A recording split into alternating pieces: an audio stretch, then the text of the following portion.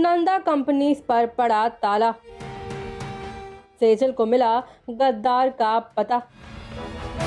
आखिर क्या है पूरा माजरा? चलिए आपको बताते हैं। ट्वेल्व कलर्स टीवी के पॉपुलर सीरियल स्पाई बहू के आने वाले एपिसोड में हम देखेंगे कि योहान के घर पहुँचती है पुलिस और सेजल के सीनियर सर।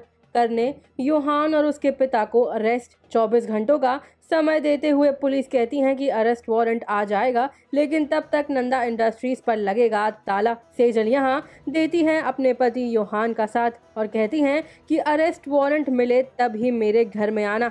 जी हाँ बिल्कुल सही सुना आपने। फिर सेजल और यहान दोनों लग जाते हैं। पता करने में कि इस गड़बड़ के पीछे आखिर कौन है? तभी सेजल कहती हैं कि उसे शायद गद्दार का पता है। दोनों निकल पड़ते हैं उसके पास जाने के लिए। तभी बीच रास्ते हो जाता है दोनों की गाड़ी का एक्सीडेंट वेल ये एक्सीडेंट इत्तेफाक है या प्लान्ड ये तो कल के एपिसोड में पता चल ही जाएगा। वैसे इस ट्रैक पर क्या है आप सभी का कहना?